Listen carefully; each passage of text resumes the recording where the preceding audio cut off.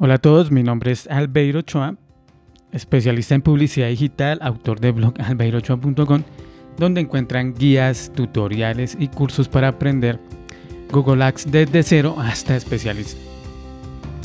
De hecho, hace poco lancé un curso que se llama Google Ads Mentor, el cual incluye varios módulos grabados y también sesiones en vivo. La idea fue hacer un curso como mixto donde se encontrará información, videos grabados y sesiones en vivo porque a muchas personas les cuesta llevar a la práctica lo que ven en los cursos. Entonces la intención es que en esas sesiones grabadas las personas puedan realizar cualquier duda, realizar cualquier pregunta, mostrar sus campañas si, si les es posible y las revisamos y tratamos de solucionar alguna traba, algún problema que tengan con sus cuentas. Incluye sesiones en vivo, sesiones y videos grabados eh, desde la creación de la campaña, selección de palabras clave, anuncios, eh, estrategias de puja, estrategias actuales, estructuras de, de campañas, cómo organizar las campañas. Toda esta información está en el curso y lo pueden ver en albeirochoa.com. Ahí está para que revisen y si les interesa lo tomen. Van a aprender seguramente. Ahí muestro todo lo que yo hago, cómo organizo las cuentas, toda mi experiencia en los últimos años de, que llevo como gestor de Google Ads. Y bueno, listo. En el día de hoy vamos a hablar de conversiones. El seguimiento de conversiones en una campaña de Google Ads es determinante para obtener buenos resultados, eso lo sabemos, aunque hay gente que quizás en algunas veces en sus campañas lo ignoran. Las conversiones son como una brújula, te guían, te muestran el camino hacia dónde dirigir la campaña. Seguir correctamente las conversiones te permite saber qué campañas, qué grupos de anuncios, palabras clave funcionan mejor en Google Ads. Es imposible optimizar una campaña de Google Ads basándose en cuántos clics recibe todos los días o cuál es el CTR o las impresiones. Son datos que importan, pero eh, basarse solamente en esos datos y no seguir las conversiones es un gran error.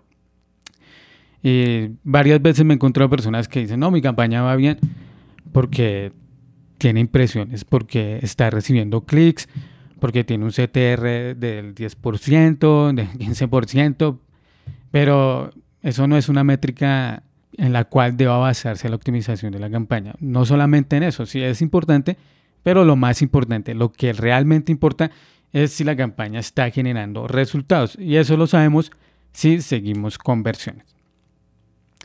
Bueno, entonces en estos días vi una pregunta en un grupo de Facebook que está relacionada con el seguimiento de conversiones. Y Adriano Mundaca preguntaba, consulta, ¿ustedes importan las conversiones desde Google Analytics o Google Ads?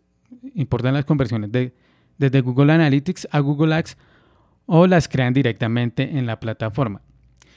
Es recomendable solo tener conversiones que son importantes o las que realmente generan retorno de inversión. O también es válido medir, por ejemplo, botones a una web para saber qué tipo de interacción está haciendo mi público objetivo en la campaña. Bueno, acá tenemos dos preguntas, básicamente, si es bueno seguir las conversiones con Google Analytics y llevarlas a, Google Ads y también qué tipo de conversiones vale la pena seguir en, en Google Ads. Bueno, listo. ¿Qué pasa? Según mi experiencia y también pues experiencia de otros consultores, cuando se siguen las conversiones de, Google Analytics y las importamos, eh, pues mi recomendación es no hacerlo desde, Google Analytics. Yo prefiero hacerlo directamente desde Google Ads, directamente desde Google Ads, sino hacerlo desde Google Analytics, porque Google Analytics tiene ya un problema. Aunque en el pasado yo también lo hacía de esa forma, yo eh, seguía conversiones desde Google Analytics y las importaba desde Google Ads, durante mucho tiempo lo hice así y hasta que me di cuenta, ya cuando me puse a investigar bien, no pasan todas las conversiones de, desde Google Analytics. O sea, si por ejemplo tienes, no sé, 100 conversiones en Google Analytics, vas a ver que no las lleva todas a Google Ads. Google, en Google Ads vas a ver 80, 70, menos conversiones. Ese es un problema que tiene Google Analytics que no lleva todas las conversiones a Google Ads. Y el otro problema es el retardo. Además de que no pasan todas las conversiones, pasan incompletas, también tiene un retardo la información. Google Analytics se demora hasta 48 horas en enviar esa información a Google Ads. Entonces tenemos dos problemas ahí para el seguimiento de conversiones, con lo cual no vamos a tener datos reales en, Google Ads o en tiempo real o datos frescos para, para gestionar las campañas. Y esto también, si ustedes se fijan, lo van a ver no solamente en las conversiones, sino también en las listas de remarketing. Van a ver que si tienen una lista de remarketing, por ejemplo, ¿qué pueden hacer para probar esto?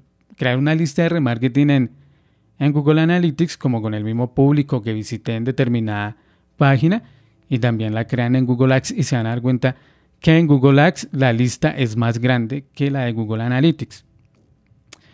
Entonces, por lo general, hasta donde no sea posible, también debemos crear las listas de remarketing con, con Google Ads antes que con Google Analytics.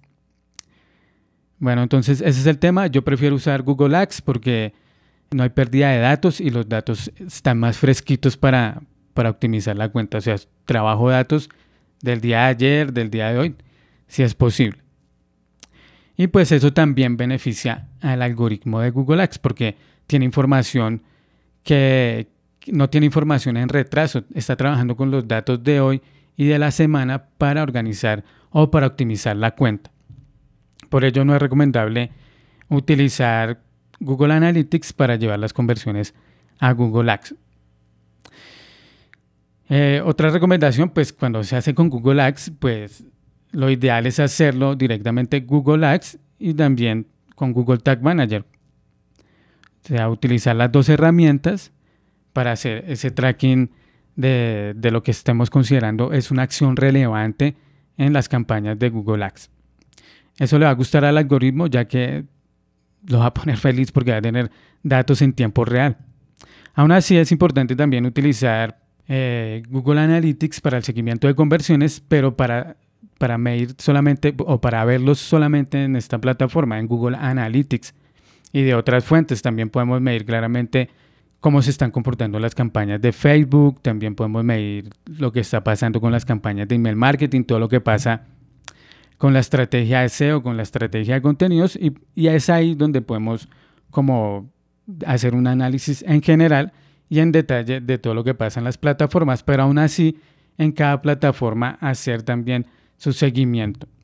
Porque cada plataforma mide diferente. Google Analytics mide diferente y Google Ads mide diferente también, así como Facebook.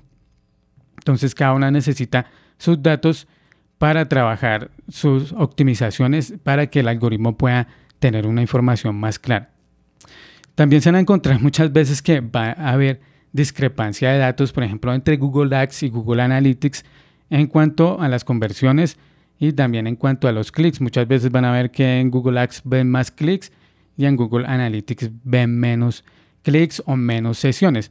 Y eso pasa precisamente por lo que les comentaba, que Google Analytics y Google Ads miden diferente. Mientras que Google Analytics mide sesiones, Google Ads mide clics. Entonces, no se vuelvan locos si ven que no coinciden los clics con las sesiones y tampoco coinciden las conversiones de una plataforma a la otra, porque ambas miden diferente. Entonces ahí dejamos claro que lo ideal es seguirlo todo directamente con Google Ads por medio de Google Tag Manager y sí claramente usar Google Analytics, pero dejar esas conversiones ahí.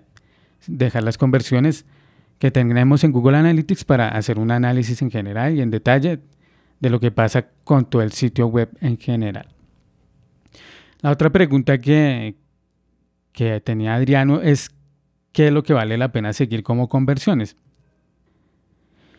Hay qué acciones serían importantes medir, hay seguir como, como lo que se considere que le, aporta más valor a la empresa. Si pues para la empresa una llamada es de más valor, o sea, porque ellos ya tienen todo organizado para que las llamadas, si tienen su call center y para que las llamadas generen ventas, pues eso sería lo que tendrían que medir. Si son los formularios, pues los formularios, si son los chats, pues los chats. Eso sería como lo más importante.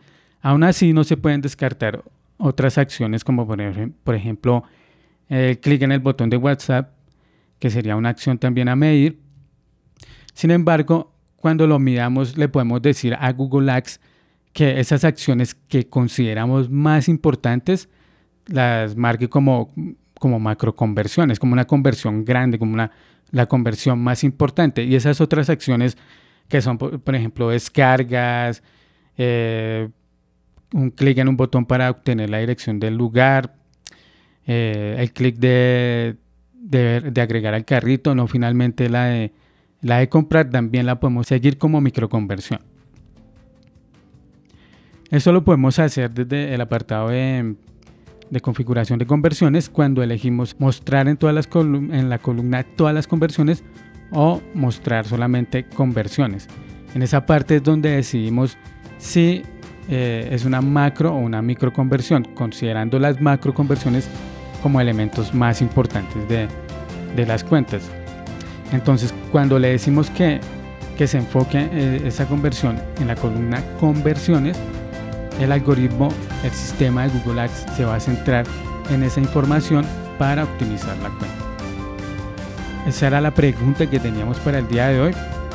Si quieres mejorar el rendimiento de tus campañas, te invito a que te suscribas al canal y a que estés pendiente también de, del próximo episodio donde voy a estar resolviendo más dudas, donde voy a estar contando mi experiencia sobre Google Ads, Google Analytics y Google Tag Manager.